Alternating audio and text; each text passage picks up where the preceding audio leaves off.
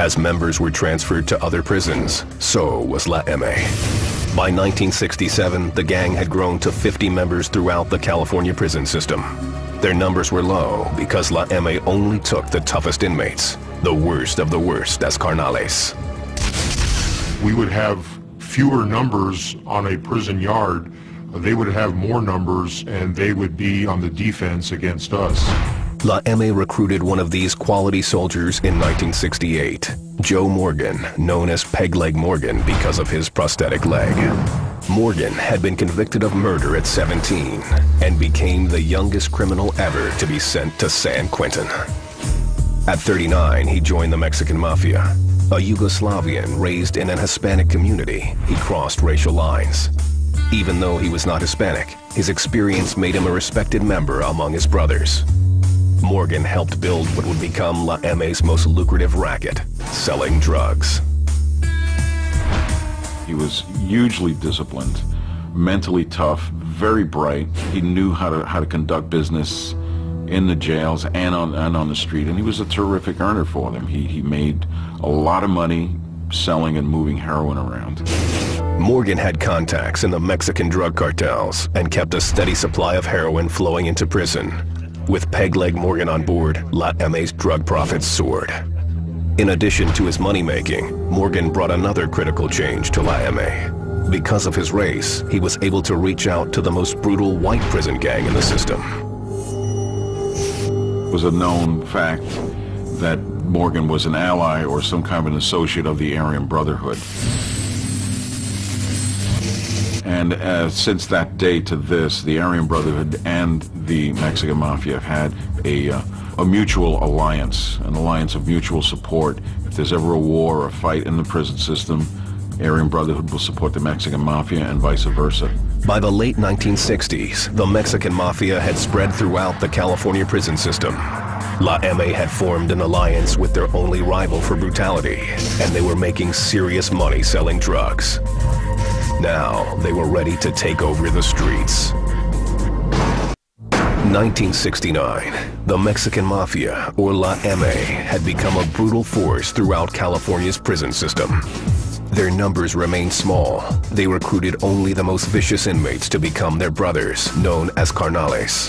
One of their newest recruits was a 20-year-old veteran of an LA street gang, Ramon Mundo Mendoza. Mundo was serving time at San Quentin for murdering a gang rival with a machete. And I swung the machete and I nearly uh, severed his head uh, from his body. And I remember seeing him going through his death throes. His body was convulsing, and it somewhat bothered me at that time because it was the first person I had ever killed. At San Quentin, word of Mendoza's brazen crime filtered through the prison grapevine. With La M always on the lookout for the toughest inmates, they set their sights on young Mendoza. Not long after he arrived, they started to size him up. Back in those days, before you could join the Mexican Mafia, you had to have unanimous approval from every member in the prison system. If one member said no, for any reason, you could not join. After a long period of careful scrutiny, Mundo was voted in. Mendoza knew what he was getting into.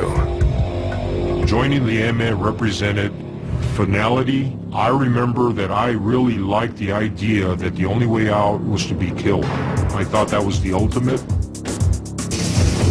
He quickly learned how the gang operated. In MA-controlled prisons, each cell block is assigned a bloquero. The bloqueros collect taxes and enforce order.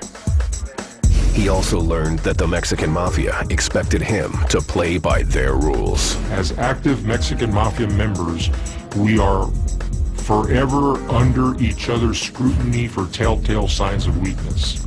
If anybody shows weakness, they're put to a test. And if they fail the test, they'll be killed.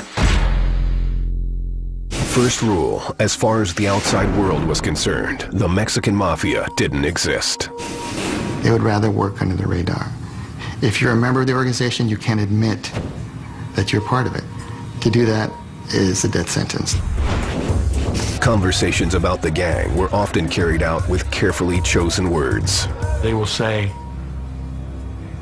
my homeboy just got married to Maria last week. And that means my homeboy has just joined the Mexican Mafia. Another rule, carnales could never cooperate with the prison guards in any way, even if they'd been injured by someone outside the gang. If you were stabbed uh, by an enemy, you couldn't go to the police uh, or the guards and say, I've been stabbed. You're not in the, the system, our system of government.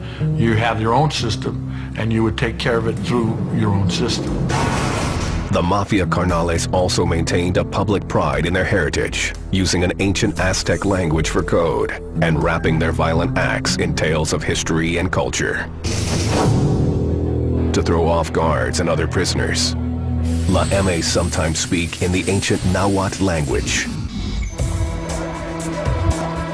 Death is the punishment for disrespecting La Raza, the Mexican race.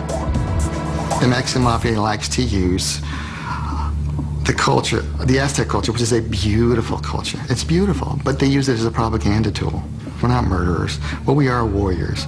And we have a culture, and because when we kill you, it's because I'm fighting for that cause.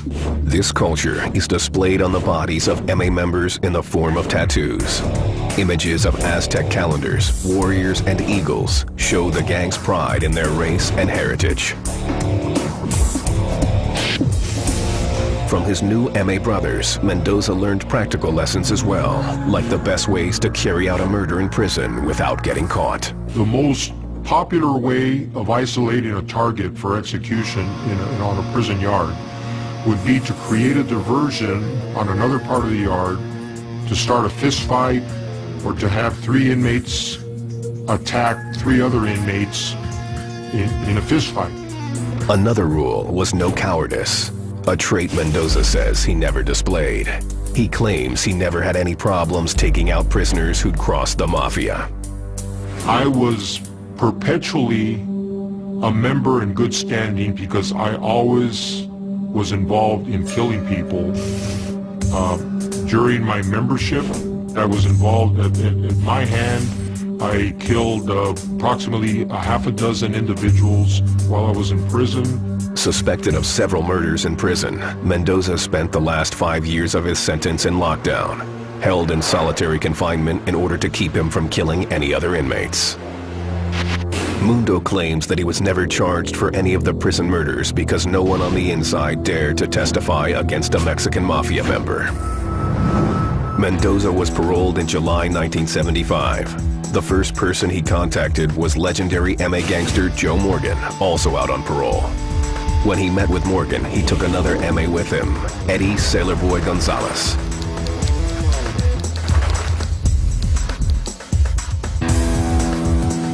With the support of their MA brothers, they decided Mundo and Sailor Boy would reorganize the drug trade throughout California on behalf of the Mexican Mafia. To do that, they needed the cooperation of their paroled carnales. What we were going to do is take over all these areas and replace the dealers that were already selling dope or get the dealers that were selling dope to sell our dope. So what Sailor and I did is we laid the foundation. The plan was simple. They had a connection that could provide a steady supply of high-quality heroin.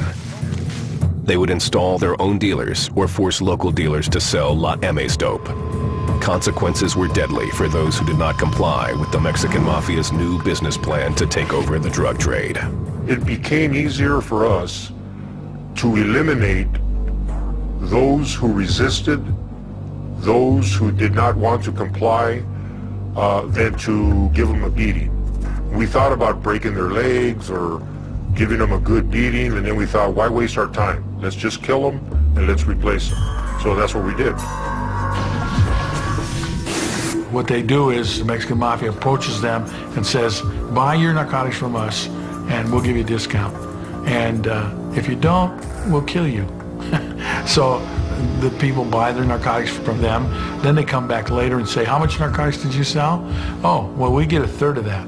They called it spreading the gospel about the Mexican Mafia's drug supply.